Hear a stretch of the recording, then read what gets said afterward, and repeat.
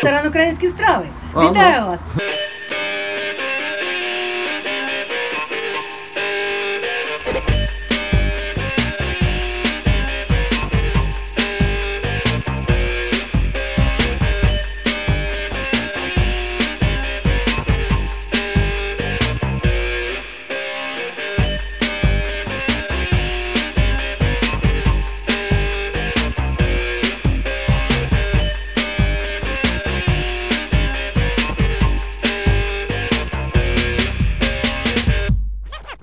Мой путь, он благотворительный, то есть а, он был посвящен солнечным деткам, а, посвящен детям с синдромом Дауна. А в Одессе находится один из самых больших центров, центров а, солнечных деток, скажем, по всему СНГ. Самый большой, самый интересный. Вот туда я направил свои колеса, меня там уже ждали. Всем привет, привет с Одессы. Как вы знаете, мой проект в какой-то части еще и благотворительный. То есть э, я стараюсь помогать как-то, что-то. В данный момент, э, в данный проект я стараюсь помочь э, нашим солнечным деткам, а, деткам синдромом Дауна. А, То есть стараюсь найти в каждом большом городе центр а, с детками, с солнечными детками. Стараюсь их посетить, а, покатать, э, что-то подарить, э, не знаю, ну, заставить улыбнуться. Вот в такой момент. То же самое мне повезло в Одессе найти такой центр, а, и сейчас а, я иду туда. Трудно снимать и говорить, в Одессе такое движение хаотичное. Здесь и справа, и слева, и трамваи, и, и пешеходы бегают, еще и скутеристы мотаются. Так что еду к солнечным деткам, а, надеюсь, э, вызову у них улыбку, радость. Ну, попробую заснять и вам показать. Так что, всем привет с Одессы. А, нашел этот дом. Здесь переулки. Это же Одесса. Вот, э, щас осталось найти квартиру, где эта организация располагается. Попробую найти. Такие вот переулки. Вся Одесса в таких переулках, интересно. Сейчас попробую найти. Так, где-то я... Куда-то я пришел. Здрасте! Здравствуйте! Здрасте, здрасте! Я попал. Я попал вовремя. Так, это вам за ваши заслуги, за ваш труд. Девочки, идите сюда. Это вам. Остальным надо цветы вручать. А, Настя, Сейчас Лена, вручу. Лена. Настя, Лена. Хорошо. Летний склад. Настя, привет. Настя, это тебе, держи. Спасибо. Это тебе с Таджикистана. Так, а нас как зовут? Лена, Леночка, держи тебе. Это тебе. И еще кое-что есть. Так, держите, снимайте. Только ровно, ровно, ровно. А то мне оператор потом по шее даст. Хорошо? Еще мне есть маленькие сувениры с моей родины. Если вы не против. Так. Это флаг моей родины. Держи. Это тебе, Настя. Вы скажите, с какой родины? Это, это родина называется Таджикистан. Да, я еду с Таджикистана с хорошей миссией а приезжать наших солнечных деток. Так что, детки, скажи привет! Привет! Говори привет. Вас много кто увидит. Салам алейкум, Таджикистан! Я наконец нашел это место, мы здесь. Здесь уютно и хорошо. актовый зал. Здесь у нас музыкальный терапевт занимается с детьми. У нас здесь проводятся репетиции. У нас же танцевальный коллектив. Шестеро детей у нас танцуют. Ой, Называется «Солнечные лучики». Здорово. Лауреаты очень многих конкурсов. Международных в том числе, да. Молодцы, молодцы, здорово. А сколько детей в центре? Э, 35 семей у нас. Ух ты, В одной семье сразу двое деток солнечный дед. Солнечные детки. Представляю, как они здесь танцуют. Молодцы. Ну, Оксана покажет, может, видео. Ладно, с удовольствием, с удовольствием посмотрим. Это их совместная работа. Значит, они каждый вырезал домик, дерево. Как красиво. Вот, и они сделали... э, Профессионально. значит, и они, короче, сделали такой, знаете, вот свой город мечты, который, наверное, они видят, в котором они, наверное, хотят жить все вместе, наверное, дружно, всей одной большой солнечной семьей. Красиво. Да. Этот коллаж стал Победителем, победителем. да, у нас на пасхальная была выставка «Пасхальное сияние». Не так много, чтобы вызвать улыбку у солнечных детей, подарить им чуть-чуть тепла, внимания. Смотрите, радуются. Молодцы. Мы все едем в Киев. Все, вот такой дружной-дружной семьей. Я провел там целый день, я познакомился с родителями, я познакомился с детками, мы рисовали, мы писали, мы пели вместе, играли в какие-то игры, а, лепили из глины, из глины каких-то там, не знаю, животных, то есть а, мне надарили подарков, я надарил подарки детям. Это был очень интересный теплый день, а, от детей исходила такая сильнейшая энергетика, улыбки солнечных детей, они незабываемы. До сих пор вспоминаю этот день э, с очень сильной теплотой. Что э, я сделал? Я постарался соединить центры, в которых я проезжал, именно вот этим центром, этот центр был самый мощный, самый сильный, скажем так. И я соединил все центры, дал контакты, и люди созвонились, а родители, скажем так, скооперировались и вместе стали общаться. Вот это вот очень интересный момент, который а, я внес свою лепту а, скажем, в развитие вот этих центров. Причем соединились со всех с разных стран. Э, это было незабываемо. Так что Одесса, вот такой город. Скажу так, как путешественник, я заметил, что в Одессе живут самые красивые женщины на свете.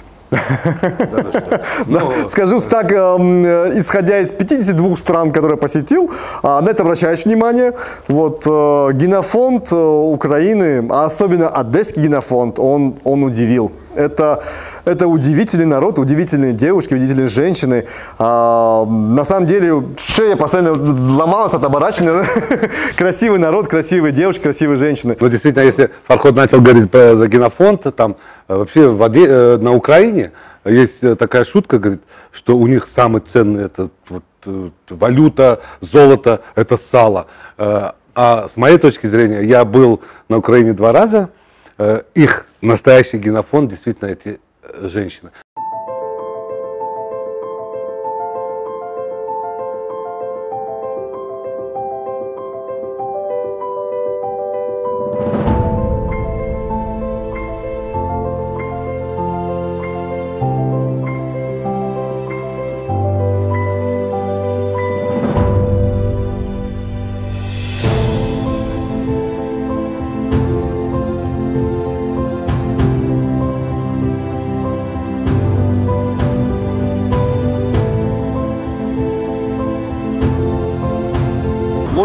Самый знаменитый вид с высоты 168 метров.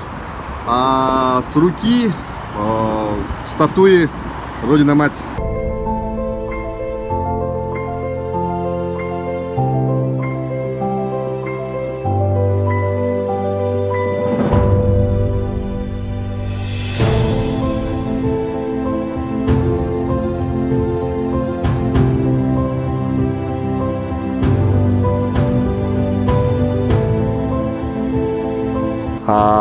Во-первых, скажу о людях. Киевляне. Вот, на пятерочку люди. Классные, спокойные. Что меня удивило в городе, это его суетливость. То есть э, в больших мегаполисах э, все куда-то торопятся, несутся, не знаю, пибикают, жизнь кипит, бизнес дела. Киев не такой, он спокойный. Это, это сразу видно со стороны. То есть въезжаешь в него или входишь там, но люди спокойно прохаживаются, спокойно общаются. А, э, вечерний Киев обязательно увидишь, э, молодежи куча прогуливаются, а, на гитарах играют, сидят, общаются. Везде музыка, везде люди, везде свет, фонтаны так, такой классный дневной Киев. Входишь, смотришь на эти золотые купола, эти а, огромные ратуши.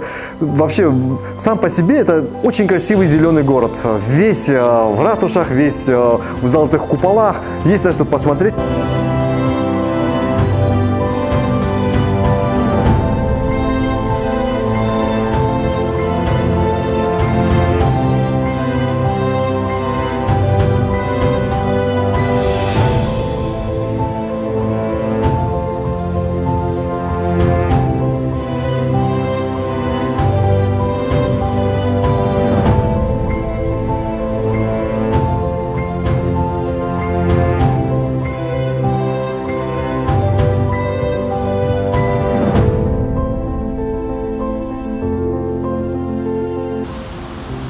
Такая интересная достопримечательность на Майдане. Это нулевая точка. Именно с этой точки идет отсчет в разные, в разные города мира. И вот здесь есть перечисление всех городов. И даже есть Душамбе. Вот он, родной. С Душамбе по прямой 7218 километров. То есть Киев оставил сильнейшее впечатление. А, я до сих пор хочу в него вернуться, хочу еще пожить. Это энергетика этой города вот такая. Представляете, заходите просто в подземный переход. Вот представляете, подземный переход. Заходите, а там внутри стоит пианино, и играет женщина на пианино. Это, это как так? Им пианино я вижу только, я не знаю, в театре или симфоническом оркестре где-нибудь, в филармонии. А там прям играет, причем профессионально играет. Да ладно. Я через два дня в этот же переход зашел, смотрю, там уже ребята на, на скрипках фигачат, все так профессионально.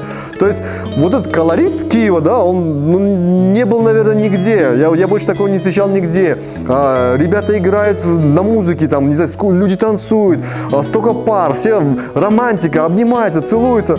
Вообще, вот такое оставил впечатление Киев. Майдан какой красивый, этот огромный памятник, стела стоит, люди вокруг ходят. Я э, это, продолжу. Действительно, Киев э, очень продвинутый в экшен, в музыкальных экшен вещах. Э, буквально недавно, ну может как недавно, пару лет назад я увидел э, клип, который сняли ребята, э, а он был постановочный. Где-то на станции метро, на выходе из станции метро э, Киева ребята, бенд э, играет, и играет песню Кикабидзе. Ух ты! Да. Э, по аэродрому, по О! аэродрому. Классика. И да. И потом э, экшен заключался в том, что тут появляется сам Кикабидзе в сопровождении. Ну, а, я видел. Сопровождение Сопровождение стюардесс. Стюардесс. И самое главное, у него в руках был Green Crocodile. Если вы помните, да, это мой- да, да, да, из фильма «Мимино». А Одно из не- незабываемых мест, а, которое меня, в принципе, а, мотоциклисты показали, привели и сделали экскурсию, это монумент Родина-Мать. Это такая, такое, ой-ой-ой, оставляет такое впечатление. А, Можете представить, а, если я не ошибусь, это самый, самый большой монумент в мире, если я не ошибусь, э, возможно. Ну, за счет вот этого Меча, да, меча, за- который это самый он- большой и тяжелый выше, монумент чем, в мире. Чем выше статуя свободы. Да, да, да, да, всё, да. А, это такое многоуровневое, скажем, сооружение. Это, это не, не- не только сам памятник, да, который на кургане возвышается. Снизу это музей, музей а, славы, музей скорби а, Великой Отечественной войны. Он настолько красиво и правильно сделан, то есть там такая тишина звенящая. Вот, представляешь, вот ты идешь и видишь, да, вот эти постановки, там много-много-много касок, да, вот со- советских а, времен, они такие проржа- прор- проржавелые, и в каждой каске дырка от пули, то есть это была чья-то вот, м, чья-то смерть, скажем так. да. Идешь дальше, в другой зал одни похоронки. Вот похоронки это были маленькие письмеца, которые приходили в семью о том, что их сын, брат, сват, отец а, ушел в мир иной а, в войне. То есть весь зал в похоронках, их там тысячи. А, Заходишь в другой зал, там э, на полу э, флаги, скажем так, немецкие флаги, немецкие кресты впечатление очень сильно, мурашки там, там зашкаливают, я не знаю, это э, нужно по- почаще вводить туда детей, э, новое поколение, чтобы они видели, чтобы они помнили, какой ценой э, досталась э, победа у наших дедов. Это, конечно, сильнейшее впечатление в кругосветке оставил вот этот монумент. А, плюс а, на самом монумент можно забраться. Есть экскурсии, которые а, можно подняться, ну, платишь определенную копеечку, и а, с экскурсоводом поднимаешься, если не ошибаюсь, а, то есть на плечо, на, на половину расстояния э, этого монумента, а, метров, наверное, 40 или 50. Но я был бы не я, если я бы не прошустрил, а я слышал об этом эм, лайфхаке. А Если договориться, если э, правильно засветят, то можно найти правильных людей а, и за определенную копеечку рвануть в технический ход. Технический ход, а, скажем так, он чуть опасный. Там метров 30 нужно будет пролазить по пожарным лестницам, там страховаться нужно, од- од- одеваешь страховку. Но это того стоит, потому что ты в конце концов выходишь а, на левое плечо а, женщины, а, и ты- ты- ты- высота получается 168 метров. Представляете? 168 метров, под тобой клетка, здесь клетка, то есть пропасть такая, ты видишь вот эту руку с мечом, и ты находишься вот здесь. Это вид потрясающий. Вот в таком месте я побывал. А, сильнейшие воспоминания с такого места увидеть Киев, это, это дорого стоит. Киев, зачет, пятерочка. Еще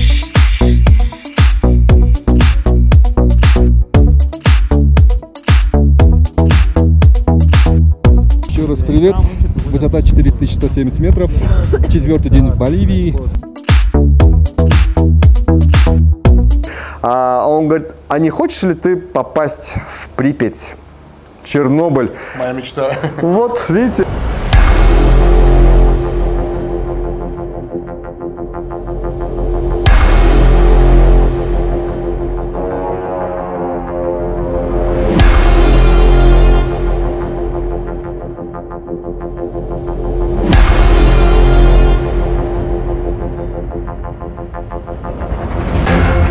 Жутко. По видео не передаться, но везде капает вода, как в жутких фильмах.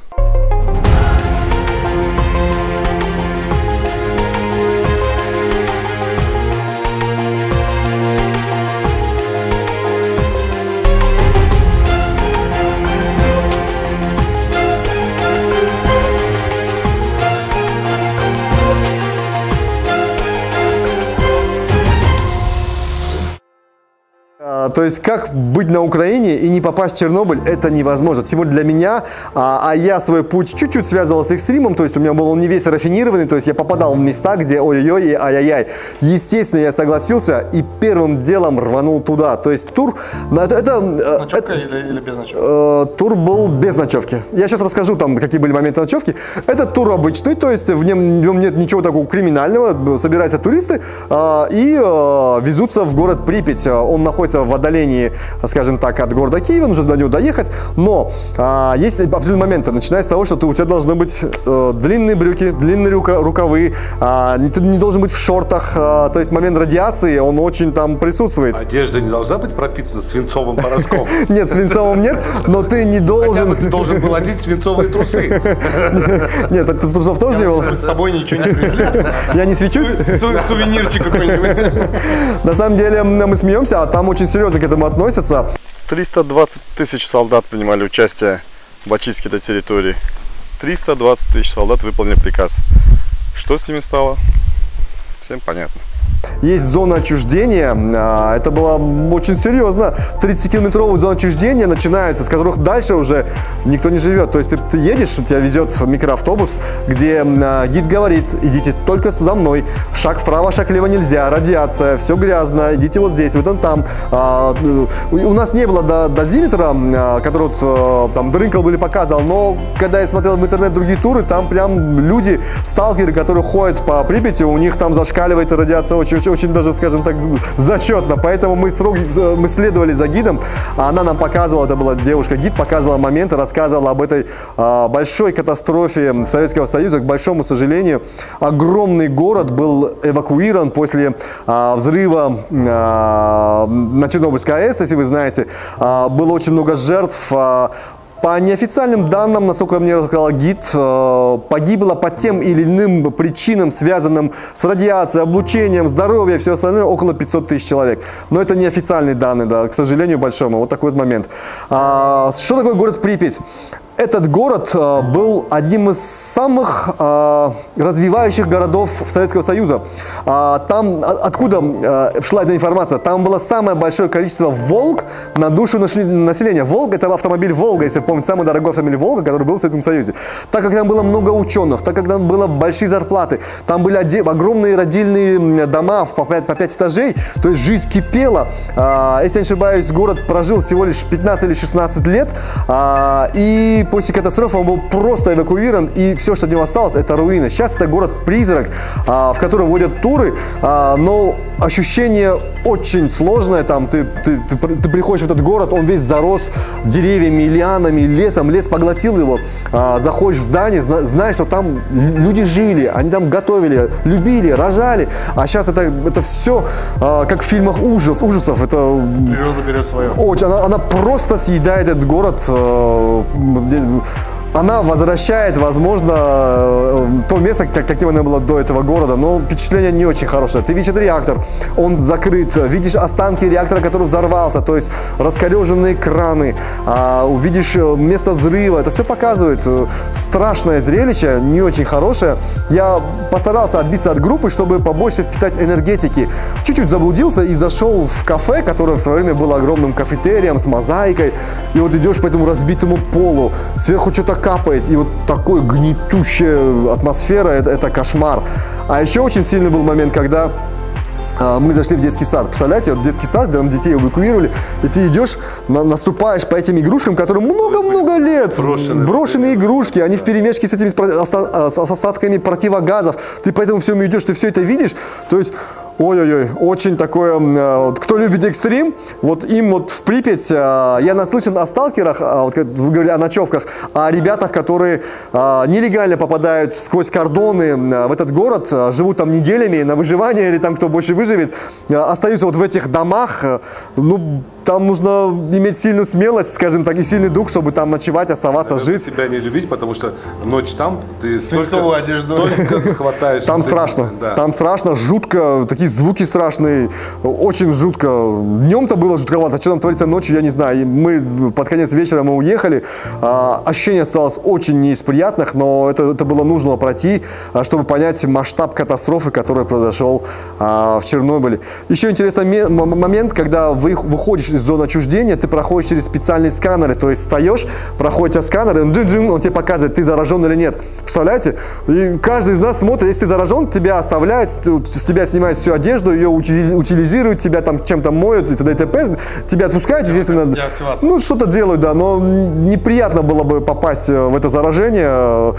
Вот, вроде мы все чистые, мы все вышли, но такой интересный момент был про, про город Припять. Э, Оставил очень-очень такие сильные, нехорошие воспоминания. Ой, ой. На самом деле, э, вот сейчас Фархот э, рассказал об этом.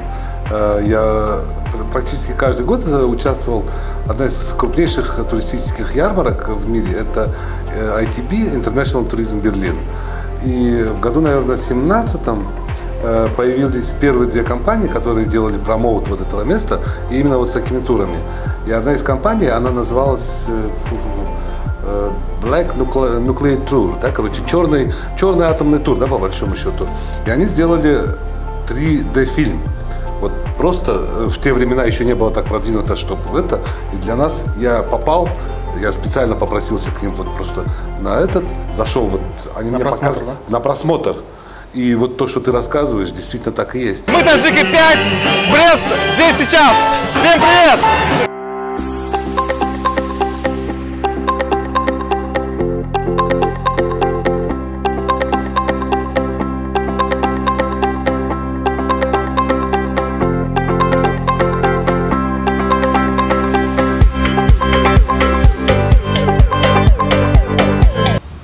А вот наше посольство в городе Минск, в городе Герой Минск. Ассаламу алейкум. В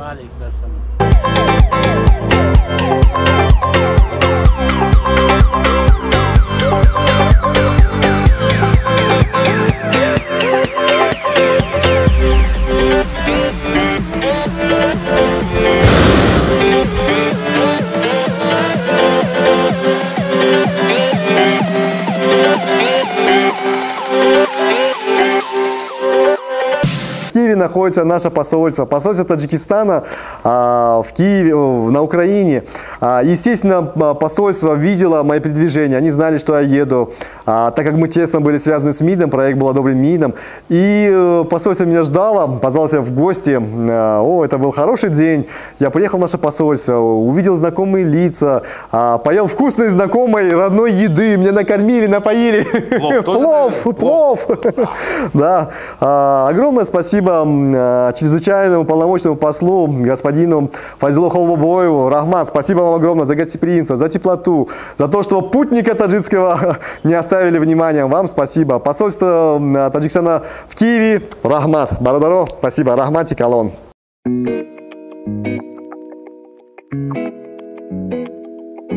А третьим городом а, в Украине, знаменитым городом, был город Львов или Львив, а, если правильно его называть. А, красивейший город, очень древний, а, с вот такой архитектурой. Ну, а, скажем так, он находится на границе с Польшей. И, скажем так, честно, это польский город а, с польской историей, с польской архитектурой. Ну, как есть, говорю, как есть. Этим он, он и славится, то, что туда попадаешь, и абсолютно это не, не Киев и не Одесса. Вообще, ты попадаешь как будто в Польшу.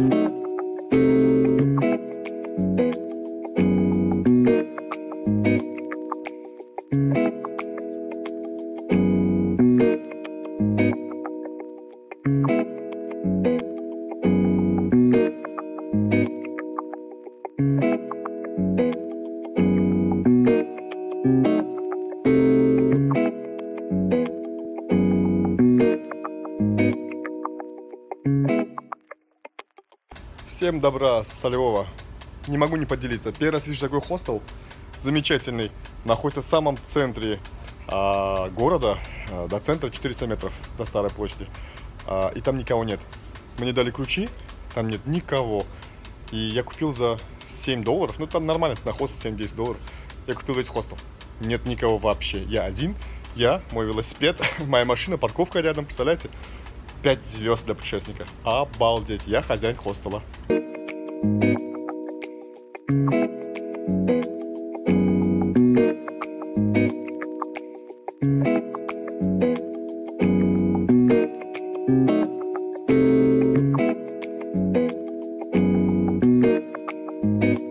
помните крылатую фразу Артоза? А скажут, что их было четверо.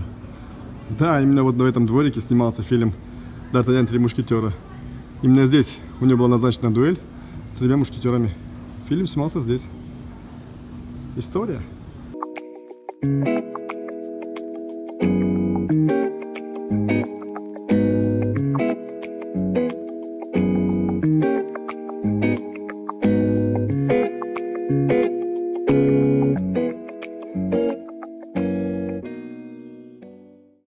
Те же самые мощенные дорожки, те же самые ратуши, остроконечные а, дома, черепица, то есть моменты вообще попадаешь в Европу. Европа, Европа, то есть Львив.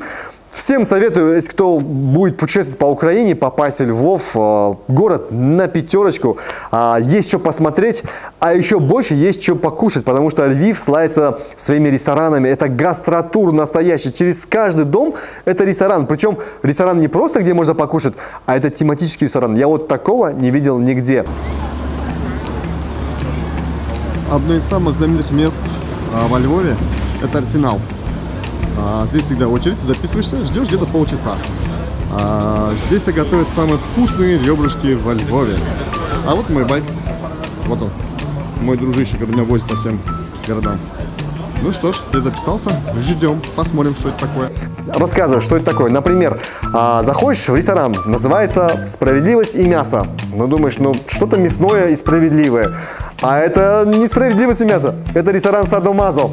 Туда заходишь, да, я не знал, мне сказали, иди туда. Еще один очень тематический ресторан а, в центре Старого Львова. Называется «Справедливость и мясо». Да, только здесь можно поесть с участием палача и всяких пытательных тем.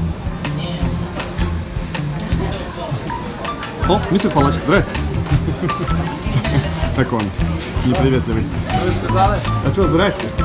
Здрасте, добрий день, бо зараз по дубі надають. Добрий день. О, уже, уже бьют. А як? Уже бьют. Пытки. Те, кто не платит, вот в этот ящик и пытать. Интересное тематическое место и целая куча пытательных вещей.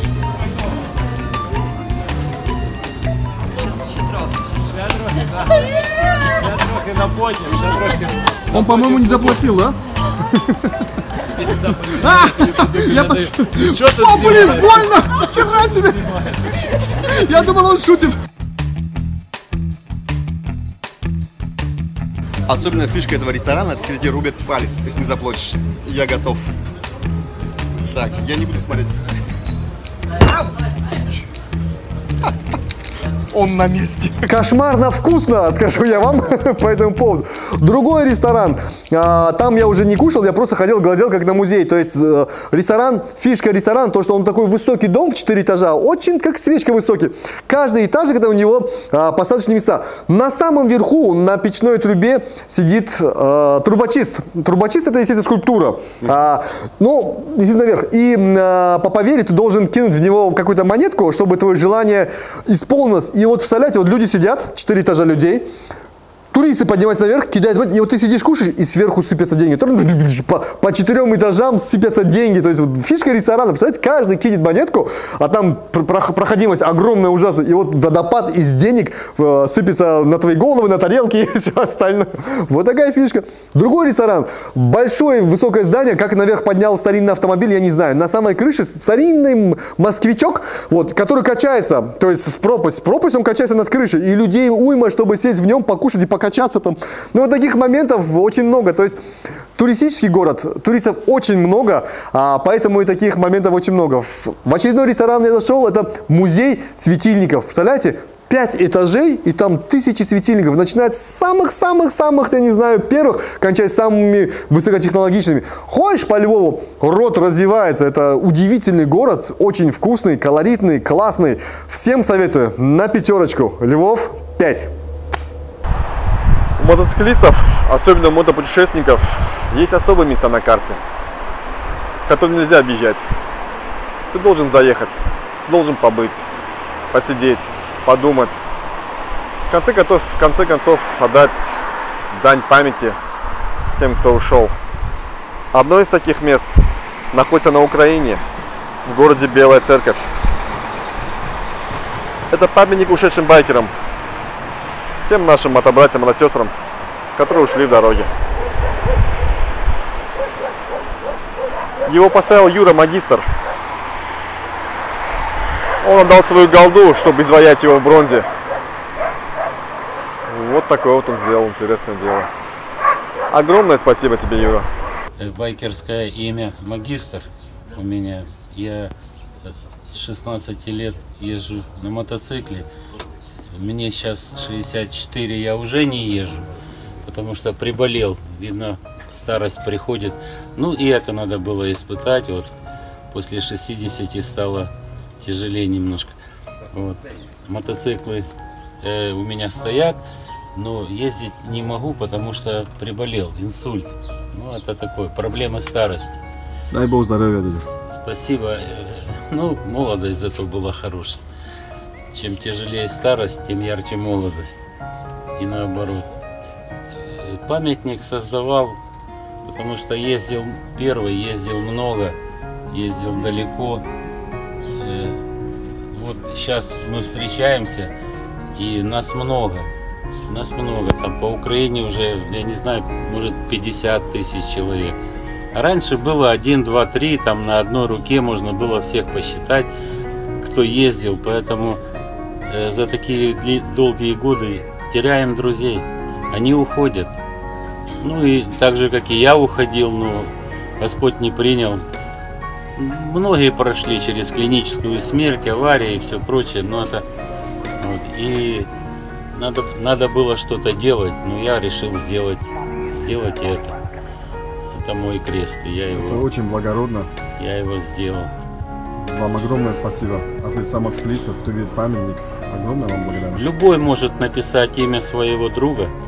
Любой. Нет ограничений. Кто хочет, пишет фломастером, можно на колонне написать или фотографию там при- приклеить на стене памяти.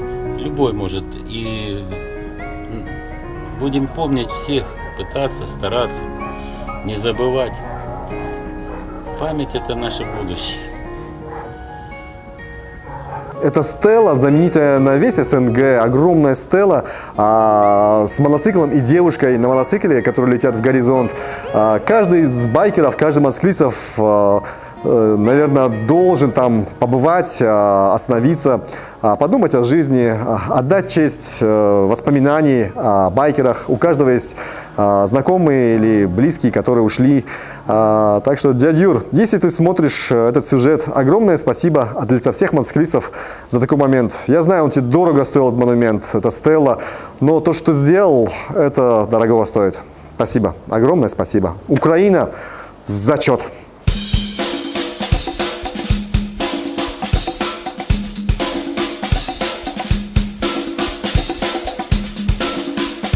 Главное, у всех есть э, два колеса, дорога, мотоцикл. Сели, поехали. Мяу! А, Солончак Уюни – это самое большое соляное и самое высокое озеро в мире.